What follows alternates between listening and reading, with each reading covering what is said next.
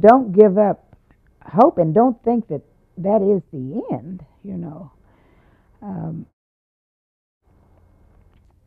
I think you can, uh, there's a lot of uh, avenues now, treatments and, and new things, and so you don't have to have that feeling of doom, I think, that people had in the past about cancer. I think there's there's positive things out there now. I think early diagnosis is the answer to breast cancer, to uh, survival in breast cancer.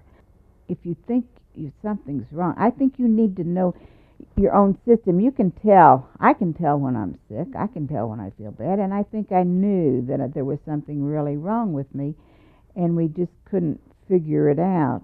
And I think you need to listen to your body, uh, pay attention, and if you think something's wrong, keep at it. Go in and do breast exams if that's absolutely important. I think those mammograms are vital